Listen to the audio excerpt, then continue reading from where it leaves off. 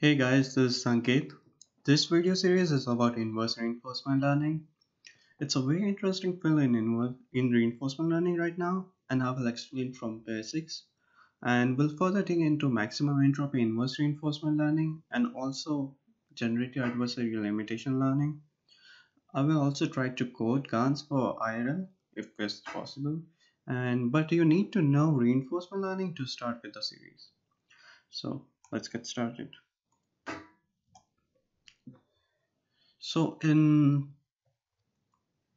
so in reinforcement learning, the agent has already a reward function and it interacts with the environment with the action and then it tries it gets a feedback according to the reward function and it tries to interact until it has optimal policy that gives him get that accumulates a maximum reward over all its interactions. Whereas, as the name suggests, in inverse reinforcement learning, it's quite the opposite. We already have the optimal policy, which are the expert demonstrations, which uh, which can be collected from humans or even can be machine generated, and which interacts with the environment to create a reward function that could regenerate or could explain the behavior of those experts. So as you can see, it can have a lot of application as as we can generate human-like demonstrations instead of going always for the optimal decisions.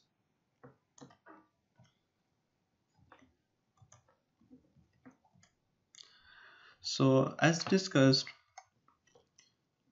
we have in reinforcement learning, we already have a reward function and we get the optimal policy as the end result.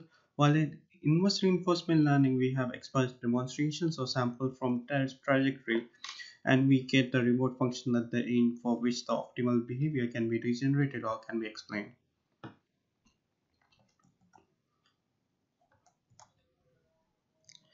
So the applications of this can be chatbots where we can collect data from humans of how they interact with each other over social media and we can translate this the behavior or the policy of these humans to a chatbot which could generate human-like sentences which can be indifferentiable.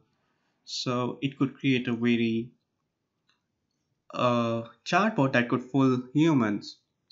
And we can also use it for autonomous driving where we can collect data from human experts or human sorry human drivers where we can take decisions as if we can overtake or change lane as given to the environment at how many vehicles are surrounding it and how much space is available. And so the advantage of this is that the car or agent will is always going to take expert uh, sorry human like decisions. And that's what we need because we can't always take the optimal decision while for autonomous vehicle while driving in between humans. And that could be one case. And another popular case is robotics so in robotics, we want the robots to behave like humans so that humans get comfortable around. So when the age arrives where humans goes into houses and be and is a part of the family, we want the robot to learn the behavior of its family members and get and act similar to it so it's it's a very active field going in Bay right now and you can like go and see lots of article on their research field and also DeepMind is working and pub and it has released a recent paper which I will also review in the later series.